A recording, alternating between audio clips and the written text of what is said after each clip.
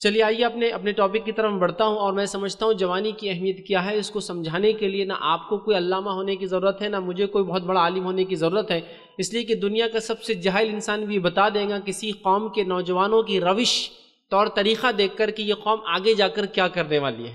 تو گویا جوانی کی اہمیت کیا ہے؟ اس کو سمجھانے کے لیے کوئی مجھے اور آپ کو بہت بڑا گیانی یا علامہ یا جو ہے علم والا ہونے کی ضرورت نہیں ہے۔ یہ ایک جاہل انسان بھی جانتا ہے کہ اگر نوجوانوں کے کسی قوم کی روش، طور، طریقہ، اخلاقیات، معاملات اگر درست ہے تو یہ قوم کل چل کے جو ہے بہت اس کا روشن مستقبل ہے، اس کا آنے والا فیوچر جو ہے بہت اچھا ہے۔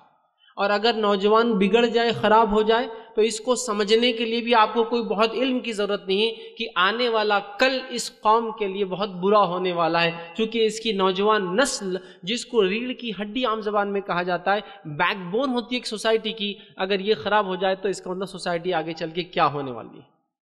تو جوانی کی اہمیت میں سمجھتا ہوں، ہمارے نوجوان سمجھ رہے ہوں گے، لیکن ایک بہت بڑا مسئلہ ہے۔ مسئلہ یہ ہے کہ ہمارے نوجوانوں کو یہ چیز بتائی جاتی ہے بڑوں کے عمل سے، بڑوں کے عمل سے کہ جوانی کی کوئی خاص اہمیت نہیں ہے۔ خاص طور سے جوانی میں دین پر چلنے کی کوئی خاص اہمیت نہیں ہے، بلکہ اگر وہ نوجوانی کی عمر میں دین پہ چلنے کی کوشش کرتے تو ان کو روکا جاتا۔ یہ کہہ کر ابھی تو جوان ہو ذرا تھوڑے دن بعد کر لینا۔ تو گویا یہ اگزامپل دیا جاتا ہے کہ جوانی وہ مرحلہ نہیں ہے جس میں تمہیں کچھ کرنا ہے۔ یہ مرحلے میں تو تم انجوائے کرو، موج مستی کرو۔ اس کے بعد کا مرحلہ تمہارا مرحلہ ہوگا۔ تو گویا قوم کی روش نے، ان کے اقوال نے یہ بتایا کہ جوانی اہم مرحلہ نہیں، عبادت کے اعتبار سے۔ مثال دیتا ہوں، دو ہی مثال چھوٹی چھوٹی دوں گا، زیادہ بڑی نہیں۔ پہلی مثال ہے ایک نوجوان جس نے قرآن و سنت کی بات سنی اور وہ چاہتا ہے کہ اب میں نبی اکرم صلی اللہ علیہ وسلم کے اس طریقے پہ عمل کروں کہ اپنے چہرے کو رکھ لوں، داڑھی جس کو کہتے ہیں۔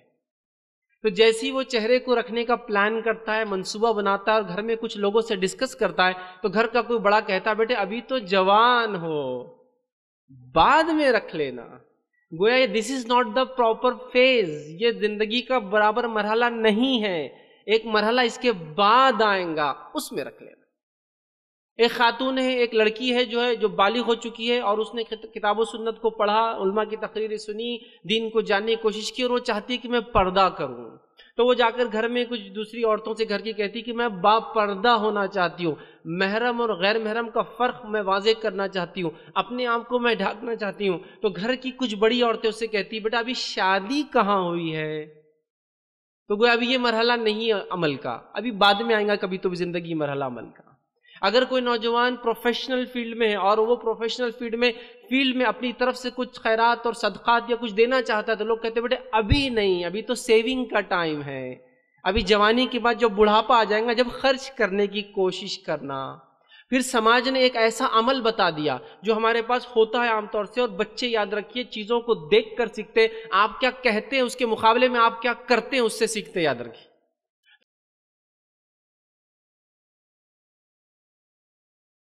السلام علیکم، آپ بھی ہمارے اس کام میں تعاون کریں، اپنی زکات و صدقات کے ذریعے ڈونیشن ڈیٹیلز کے لیے ڈونیٹ پر کلک کریں۔ اگر آپ کو ہماری ویڈیوز پسند آئے ہیں، تو اسے شیئر کریں اور آپ کے حقدار بنیں۔ روزانہ ہماری ویڈیوز کو پانے کے لیے ہمارے یوٹیوب چینل کو سبسکرائب کریں اور بیل آئکن دبائیں۔ ہم سے دیگر سوشل میڈیا پر جڑنے کے لیے ویڈیو میں دیے گئے آئی ڈی کو سرچ کریں۔ جزاک اللہ۔